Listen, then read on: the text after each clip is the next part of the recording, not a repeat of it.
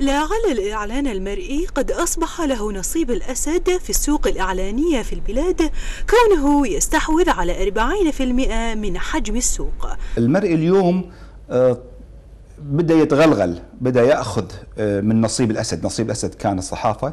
بدا اليوم آه، يأخذ كثير من نصيب الاسد من نصيب الأسد.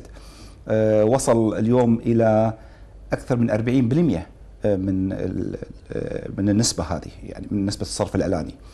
وتراجع الإعلان حاليا الإعلان المغروء إلى 54% تقريبا. وبالنظر إلى المستهلكين فلكل منهم وسيلته الإعلانية التي يفضلها لمعرفة حاجته من الأسواق. المرئي هو ممكن تشوف مع الدعاية والشغلات هذه مقري أكثر. لكن الناس أحيانا تتبع الإعلانات سيل تخفيضات الكثر يعني يروحوا لهم.